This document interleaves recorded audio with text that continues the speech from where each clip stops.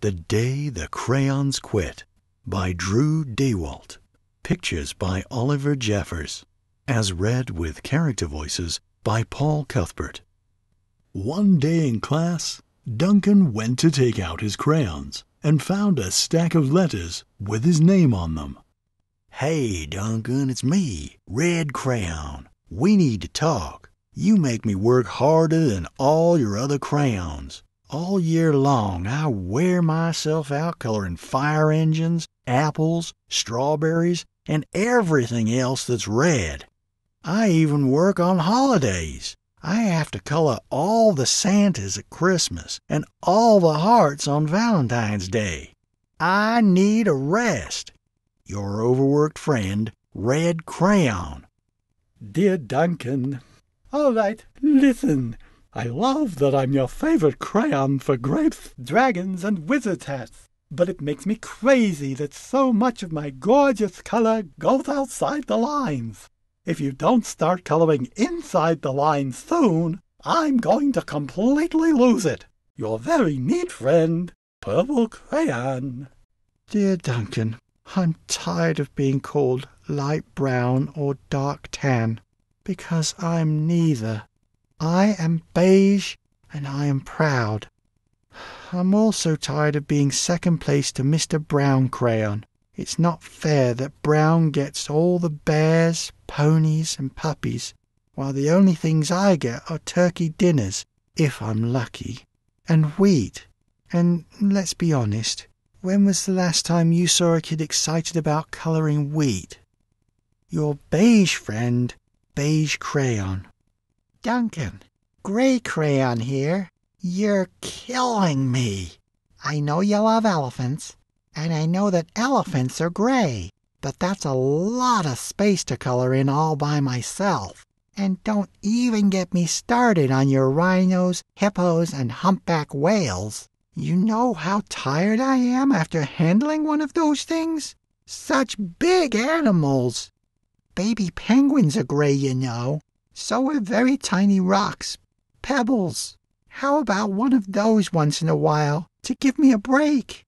Your very tired friend, Gray Crayon.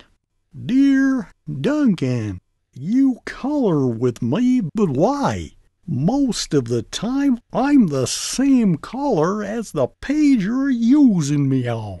White. If I didn't have a black outline, you wouldn't even know I was there. I'm not even in the rainbow. I'm only used to color snow or to fill in empty space between other things.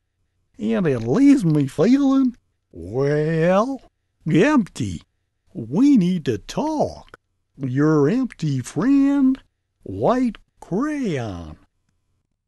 Hi, Duncan. I hate being used to draw the outline of things. Things that are coloured in by other colours, all of which think they're brighter than me. It's not fair when you use me to draw a nice beach ball and then fill in the colours of the ball with all the other crayons. How about a black beach ball sometime? Is that too much to ask? Your friend, Black Crayon. Dear Duncan, as Green Crayon, I am writing for two reasons. One, to say that I like your work. Loads of crocodiles, trees, dinosaurs, and frogs. I have no problem and wish to congratulate you on a very successful coloring things green career so far. The second reason I write is for my friends, Yellow Crayon and Orange Crayon, who are no longer speaking to each other. Both crayons feel they should be the color of the sun. Please settle this soon, because they're driving the rest of us crazy. Your happy friend, Green Crayon. Dear Duncan, Yellow Crayon here. I need you to tell Orange Crayon that I am the color of the sun. I would tell him, but we are no longer speaking. And I can prove I'm the color of the sun, too. Last Tuesday, you used me to color in the sun on your Happy Farm coloring book. In case you've forgotten, It's on page one. You can't miss me. I'm shining down brilliantly on a field of yellow corn.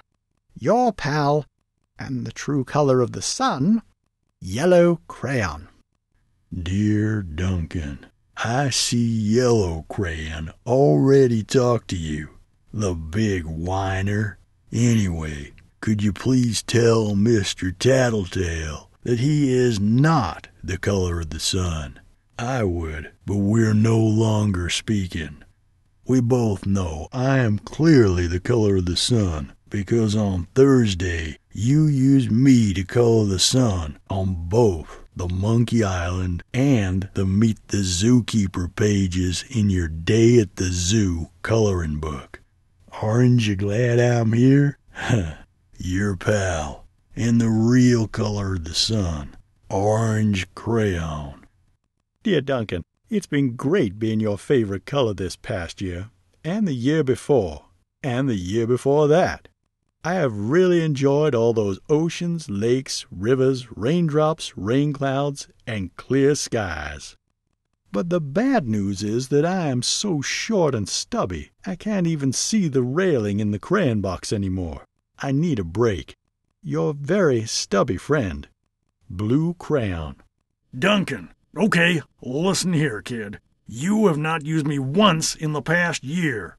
It's because you think I'm a girl's color, isn't it? Speaking of which, please tell your little sister I said thank you for using me to color in her Little Princess coloring book. I think she did a fabulous job of staying inside the lines. Now, back to us. Could you please use me sometime to color the occasional pink dinosaur, or monster, or cowboy? Goodness knows, they could use a splash of color. Your unused friend, Pink Crayon. Hey, Duncan, it's me, Peach Crayon. Why did you peel off my paper wrapping? Now I'm naked and too embarrassed to leave the crayon box.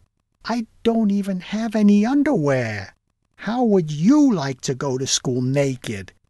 I need some clothes. Help!